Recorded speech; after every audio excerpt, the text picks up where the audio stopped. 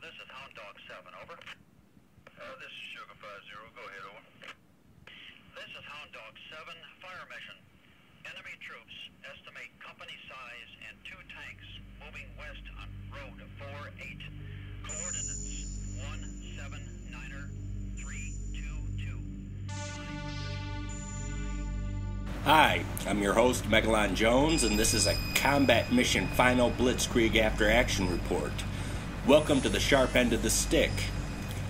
The date is late autumn 1944, and for the last six weeks, the U.S. First Army has been shoving regimental combat teams into the Hurtgen Forest.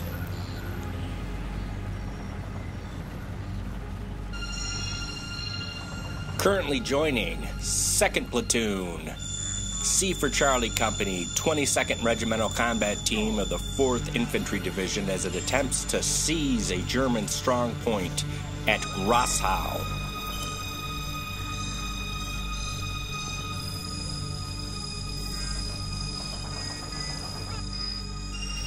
There are four objectives on the map Grosshau itself, the machine shop, and two touch objectives in the form of bridges.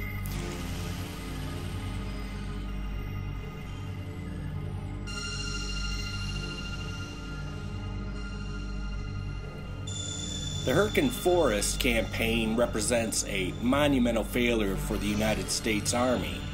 It couldn't play to its strengths. The visibility was bad due to the dense woods, and it couldn't call in airstrikes or artillery and generally stand off and use firepower and mobility.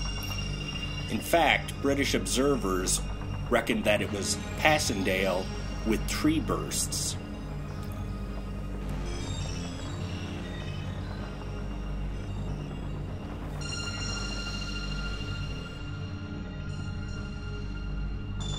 Grosshau itself is a small agricultural community. Sitting at the center of the map, it has great fields of fire in all directions.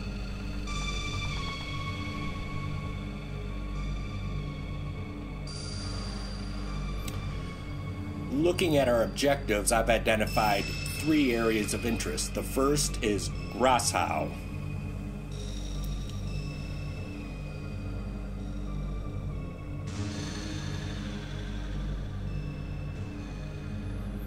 You can notice that there are many multi story buildings, lots of windows, low walls, and all of this adds up to great infantry fighting positions. The second area of interest is a wooded patch protected by rivers that cannot be forded. This offers the German army enfilade positions into any advance into Grosshau itself. If I was the Germans, I would put machine guns and rifle teams there. As bad as that is, it's the third area of interest that gives me the real heartburn. It's a low ridge created by farming that offers excellent field of fire. And if the Germans don't have guns, machine guns, etc., there, you can call me Kaiser Wilhelm. 1:45 in the afternoon. Go time. The plan is to shove 2nd platoon into firing positions to do reconnaissance by fire backed up by tank destroyers.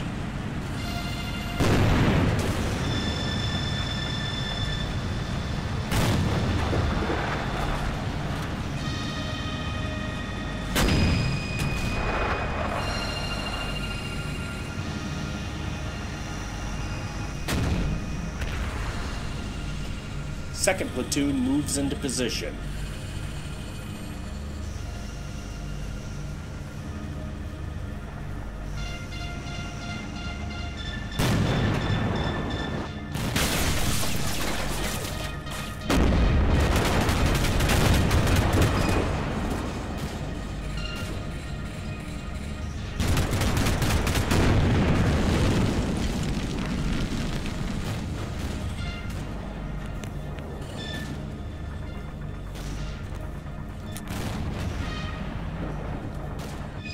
Our dog faces start to take light fire at first, which gradually increases in intensity and accuracy coming from Grosshau.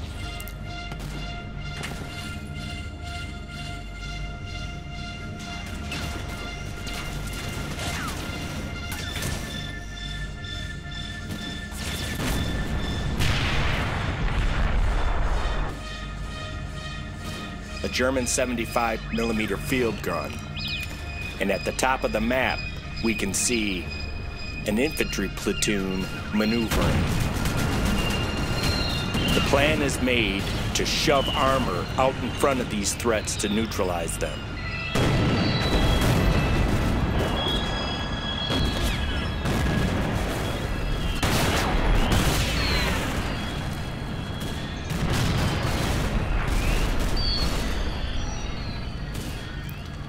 Inside Grosshau itself, it seems to be a mixed force of Waffen SS and regular German army.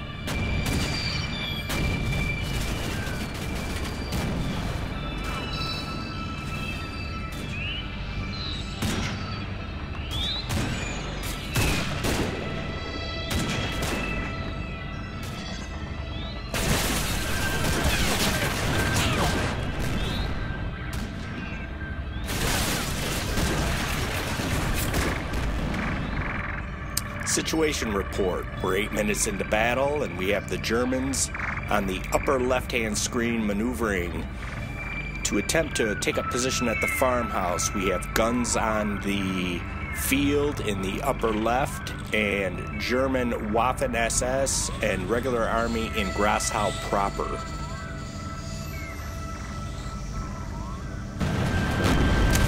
The Shermans move forward, taking advantage of their frontal armor, which is proof against low velocity shells offered by the German 75mm field guns.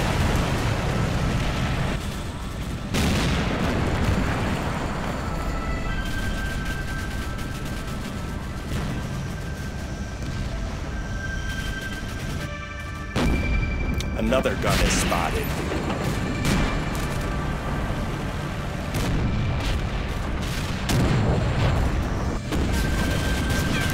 One Sherman acts as an HE sponge, a second moves up behind a wall and takes fire.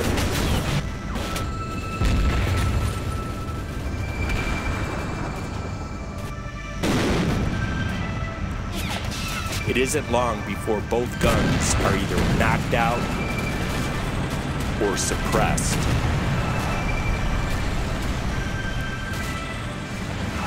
But just then, Sherman, the left-hand part of the screen, takes a penetrating shot.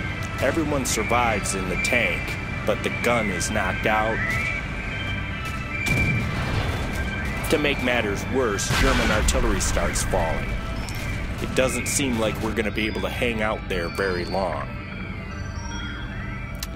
So, we have to start making some decisions meaning we're going to have to go forward into the town of Grosshau before I'm totally comfortable. And in another couple minutes, a platoon of tank destroyers are going to show up to offer reinforcements along with another platoon.